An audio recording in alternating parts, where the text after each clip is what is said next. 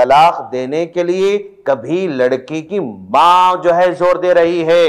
लड़की ज़्यादा तालीम याफ्ता है, वो ज़्यादा बातें नहीं मानती है, वो झुककर खिदमत नहीं करती है तो इधर लड़के की माँ उसको तलाक देने पर मजबूर कर रही है।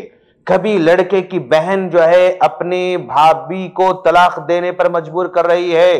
कभी बाप भी इस जो है तलाक देने पर इसरार करा रहा है।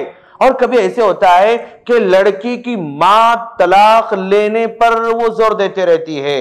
वो समझती है कि मेरा दामाद मेरी बच्ची के लायक नहीं है।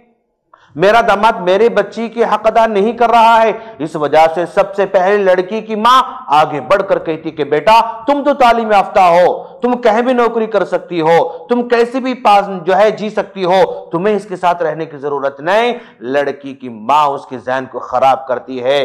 कभी लड़की का बाप उसकी जान को खराब करता है, कभी लड़की की बहनें उसके जान को खराब करती हैं, कभी लड़की की भाई उसके जहन खराब करता है तो माशरे के लोग इनके जहनों को खराब करना चाहते हैं।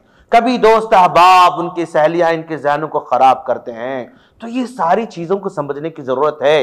आज लड़के को चाहिए कि वो अगर माँ उसको तलाक देने पर मजबूर कर रही है, जल्दबाजी ना करे।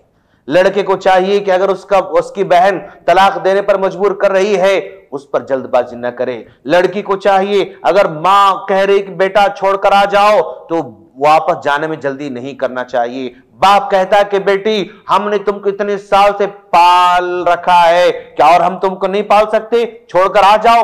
वापस जल्दी जाने में जो है जल्दबाजी नहीं मचाना चाहिए। हम अल्लाह से दुआ करते हैं। बारी ताला तो हम तमाम को इस बुराई को मिटाने की तोफ़ी अता फरमा। आमीन।